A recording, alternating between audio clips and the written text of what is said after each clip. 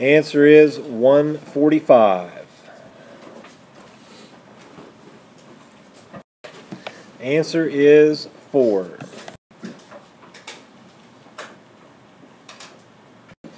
Answer is 137.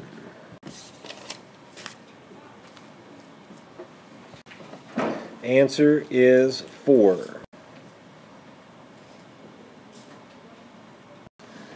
Answer is 31. Pick up a number from 1 to 10. The winning numbers today are 4 and 6. Homework check is going to be the after test assignment from Friday. The objective today is ninth grade patterns, functions, and algebra number 1. It's the first red card on the wall. I can determine if a relation is a function or not. It'll be a yes or no answer for those problems. The first example, f of x equals 2x plus 5. This is a function, and that's how it's written. This is pronounced f of x equals 2x plus 5 but it can also be written as y equals 2x plus 5. The y takes the place of the f of x, so it becomes an equation. You can generate a list of ordered pairs by using this function. You can enter in numbers in the domain, which will be the x values. And once you enter in a number for the x value here, you can simplify it and come up with what y equals. And that is the range. The range represents the output from the function. The domain is the input. So if I enter in the numbers 1, 2, 3, and 4 into this, I'm entering in number 1 for x. If I do that, I should get back a 7. 1 times 2 is 2 plus 5 is 7. If I put a 2 in, I should get back a 9. 2 times 2 is 4 plus 5 is 9. And if I put in a 3, I should get back 11. 3 times 6 is, or 3 times uh, 2 is 6, plus 5 is 11. And if I put in a 4, 8 plus 5 is 13. So the output that we had, we entered in a 1 and got back a 7. So the ordered pair is 1, 7. I entered in a 2 and came back with a 9. That's 2, 9 for the ordered pair, and so on.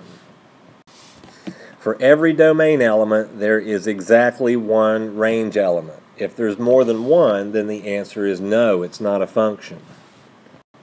Here is the first real example you have a list of ordered pairs. This will be the x value. This is the y value all the way through. x, y, x, y, x, y. You should only have one, one in the x values. Only one 6, only one 4, and only one 5. If all of your x values are different, then the answer is yes. This is a function. Here's example number two. Can you spot anything in the x values in these that are the same? One and one. Notice that the one is paired with six and the one is paired with three. That's not possible. You cannot enter in a one into a function and get an output that is different when you put it in two different times. This is like a pop machine. If I put in 50 cents or a dollar, whatever it is now, if I put a dollar in there and hit this button, I should get back the same type of pop out of the machine. I should not be able to put in a dollar a second time and come back with a completely different type of pop. I should not get Pepsi one time and Mountain Dew the other unless the, the guy loaded it wrong. But a function means when you put something in, you get the exact same thing out every single time. If you put a 5 in each time, you should get back a specific same number each time. So the answer to this one is no because we put in a 1 and came back with a 6. But later on we put in a 1 and came back with a 3. That's not possible. Here's practice problem number 1. All you have to write is yes or no and drop it off up here.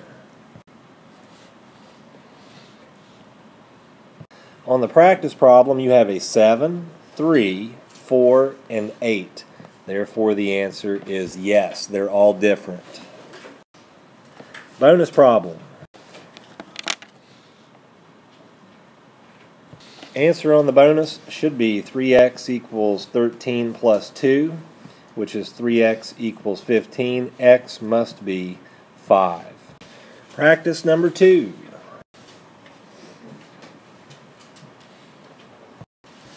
You have 1, 6, 3, and 5. They're all different, so yes, this is a function. Bonus number 2. This should be negative 3x equals negative 40 plus 7. On the right side, that gives you a negative 33. Divide by negative 3 to get 11. Example number 3 you have a domain, which is on the left, and a range, which is on the right. Remember, this will be your x values, and these are the y values. This is what has been entered into a uh, what could be a function, and this is what the output is, the result. The green arrows that go from the domain to the range essentially match up the ordered pairs. For example, 2 goes to 12, 3 goes to 9, 7 goes to 13, 9 goes to 16, and 11 goes to 12. Do you see any arrows leaving the range from a specific element more than once? Do you see something leaving 2 twice or just once? Just once, once, once, once, and once. You don't have two lines coming from the same domain element. Therefore, the answer is yes, that is a function. Example number four. In this case, we only have one thing leaving here. But notice on the 2 element, you have it pointing to negative 3 as well as positive 3. So that's what makes this one no. That is not possible, so that cannot be a function. Practice number 3. On the practice problem, these arrows are leaving just once each time from each domain element, so that answer should be yes. Bonus number three. The solution on the bonus should be that you have negative 12 plus 9 on this side, which gives you a negative 3, so the final answer should be 3. Bonus problem, or not bonus, but practice problem number four. On the practice problem, there is only one arrow going from each domain element. They all point to the same range element, but that's fine. It's still a function. Bonus problem number four. The bonus should be 3x equals 9, which would give you an answer of 3. Graduation test problem of the day.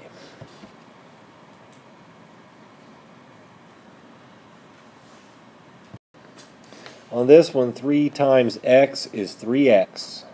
3 times a negative 6 is uh, negative 18. I should probably record this.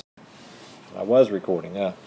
So 3x minus 18 equals 4x, which comes from this multiplication, and then multiply 4 by the positive 7 to get plus 28. That should be answer D. Speed problems, there won't be enough time for those today. Example number 5. What are the range elements for f of x equals x squared minus 3 if the domain is 2, 4, and 6. The way you find this is the following. Put a 2 in for x. 2 squared is 4, minus 3 is 1. And then put a 4 in. 4 squared is 16, minus 3 is 13. Put 6 in. 6 squared is 36, minus 3 is 33. This is your answer. Those are the range elements for f of x equals x squared minus 3 if the domain is 2, 4, and 6. Simply plug in the numbers and evaluate each time. Example number 6. What are the range elements for f of x equals x squared minus 2x plus 1 if the domain is negative 1, 0, and 1? Plug in negative 1 here. Negative 1 squared is 1.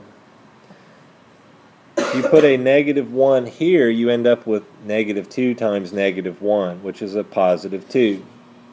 And then you have plus 1 on the end. Add those up to get 4. Go back in and plug in a 0. 0 squared is 0. Minus 2 times 0 is minus 0.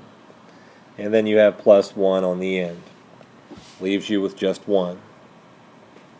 Put in a 1. 1 squared is 1. Minus 2 times 1 is minus 2. And then the plus 1 on the end from here. 1 minus 2 is negative 1. Plus 1 is 0. 4, 1, and 0 should be your answers. That represents the range given this function and these domain elements. Simply plug in these numbers and evaluate to get however many numbers there are, in this case three. Practice problem number five.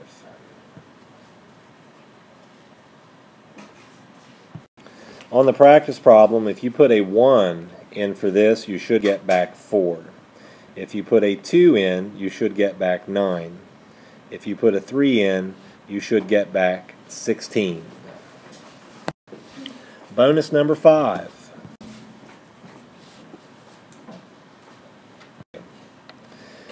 This should be negative x equals negative 12 minus 5. That is a negative 17, but you must divide by negative 1. The answer is positive 17. Practice problem number 6.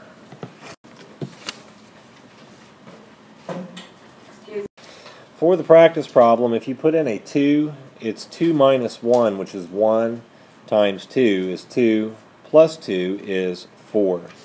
If I put in a 5, 5 minus 5 minus 1 is 4, squared is 16, times 2 is 32, plus 5 is going to be 37. And then if I put in a 7, 7 minus 1 is 6, squared is 36, times 2 is 72 plus 7 is 79. Homework assignment for tonight